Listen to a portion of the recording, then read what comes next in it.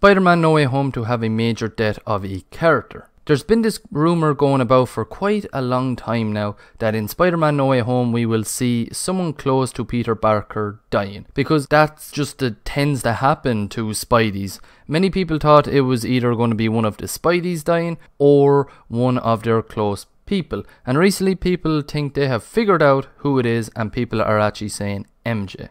This isn't really a surprise because that just seems the most logical one if we look at what Zendaya, the actress who plays MJ in the MCU, she has said numerous times that she's had a great time working on this trilogy, which of course many many outlets are saying that this could or is happening. Now please take this with a grain of salt because it has not been confirmed.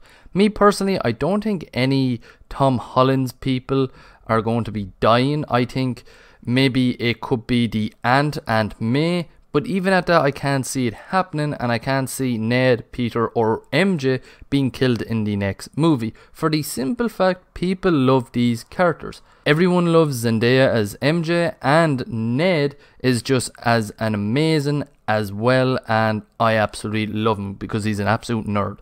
I know any original characters like Ned in Spider Man movies are owned by Marvel, so if Sony wanted to take Tom Holland Spider Man back, and create their Spider Verse or Venom Verse, then we could see Ned and possibly MJ die in the MCU, but still be alive in the multiverse. See where I'm getting at now? They are from different universes, which is just an idea, but I don't think they are going to be killing anyone off, to be honest.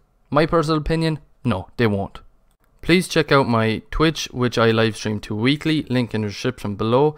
Follow my TikTok, which I upload to daily, linked also in the description below as well. And of course, subscribe to my YouTube channel and hit that like